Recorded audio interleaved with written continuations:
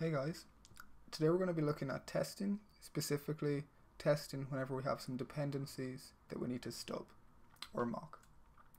So as you can see here, we have a function called getToDoById, and this function is making a call out using the request module to an API. And this API is getting a to do, which has the ID of whatever we pass into the function. And then we're just returning a promise which resolves to this to do. So, which will look something like this. So here we're making a call out to this API. We're looking for a to do with an ID of one, and it's returning that. It has a user ID, an ID, a title, and a completed. And in our test file, we can see we have a describe, which is describing, we just have the name of the function, and we have an it, which is saying we're going to test getting to do with an ID of 1. We're calling the function, passing in 1, and then we're checking what it resolves to, and we're checking that that object has an ID which equals 1. If we run this test,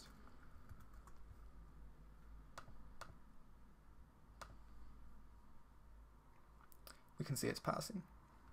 By the way, if you want to set all this up the same, uh, we have some dev dependencies. We have chai, mocha, request, and Sinon. And our test script is just mocha test.js. So we're just running the test on this one file. Nice, so this test is working, and this is great. But we have an issue. This function has a dependency. It relies on this API working and us having access to this API. So what happens if we turn our network off and we run the test again? Can see now, oh, the test is failing. Because we don't have network, how are we going to access this API? So this is an issue for our test. Our test is saying that this function isn't working, even though the function itself is working. It's the dependency that we don't have access to because we have no network. So how do we fix this? What we need to do is remove our reliance on this dependency. And we can do this by stubbing request.get. To do that, we're going to use a library called Sinon or sign on.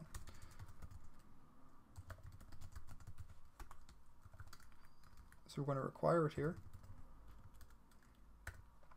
And we also need to require the thing that we're going to stub, which is the request object.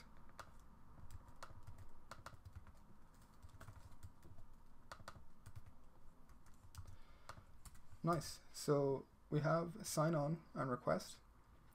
And now we need to, in our, we need to add a before function, which is just like a setup. Just going to make it an arrow function.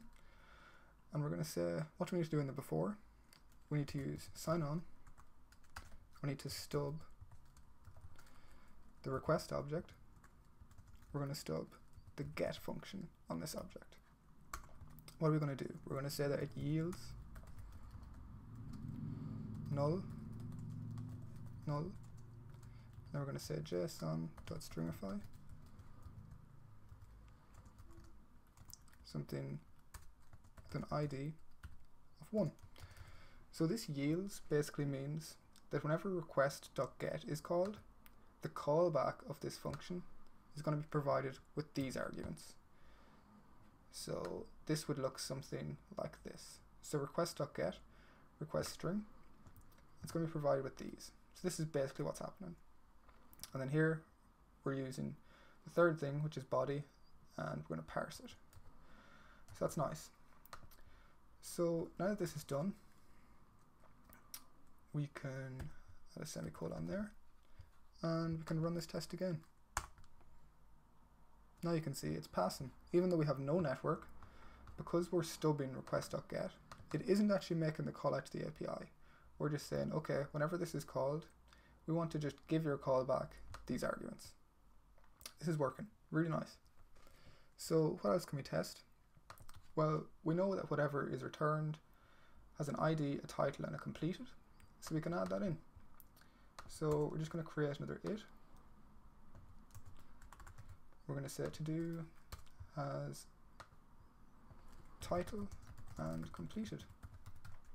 So we're going to call the same thing, This time, instead of expecting the ID to equal 1, we're going to say to do dot to dot have dot property title. So this is saying we're expecting this to have a property of title. If we save that, run our test again, we can see it's going to fail because we're expecting this object to have a property title, which it doesn't, but we can give it that. So we basically want this stub to act as much like the actual API as we can. So we can just say title to do title. If we save, run the test again, we can see that now it passes. We can also add the same in for the completed field. Run our test, we can see that it's failing. So we do this just to see that we're not getting a false positive. So we know that our code is actually working and the test isn't just passing all the time. So we can say completed and I think it's just a boolean. Yeah. So we want to give it the same thing, just a boolean. So we save that, run our test again. Um, field, what's wrong here? Oh yeah, property, this should just be completed. Cool.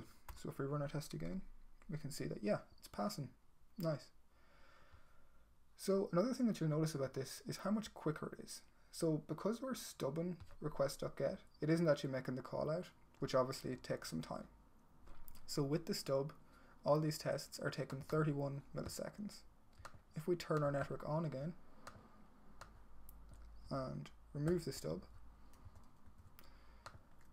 and wait for our Wi-Fi to come, run our test again, can see that now it's passing, but the whole thing is taking 252 milliseconds.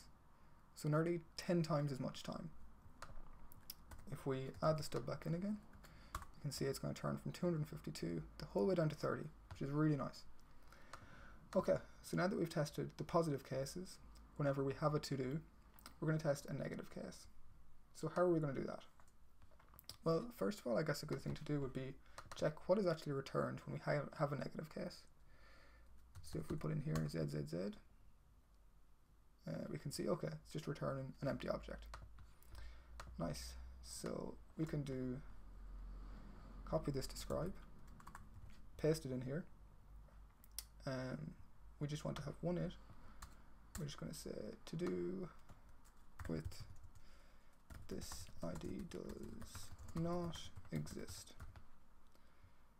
Um, and here we can actually add in uh, to do exists in our describe just to describe what these tests are doing.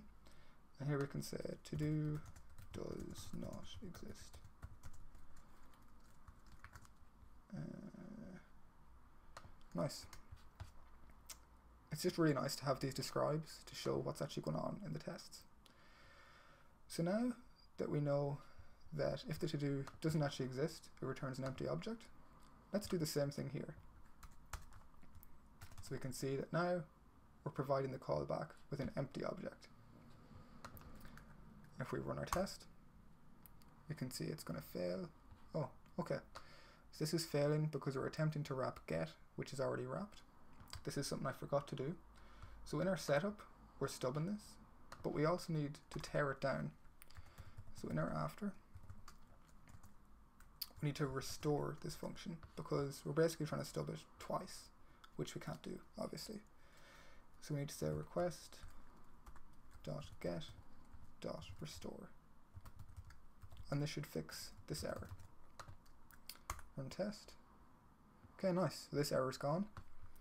Um, we're just going to use this after our next test because it's just good practice. These tests should be able to run in any order and not rely on each other completely independent. This is the purpose of unit testing. Nice. So now we can see expected undefined to equal 1. This is because this test is saying that our ID is still going to equal 1. We need to change this. So we're giving it something that probably won't return anything. We'll just return an empty object. We can say expect to do .id to equal undefined. If we run our test again, now it's passing. Okay, nice. This has been stubbing our dependencies using Sinon. If you have any questions, don't be afraid to ask in the comments. Thanks for watching, and I'll see you next time.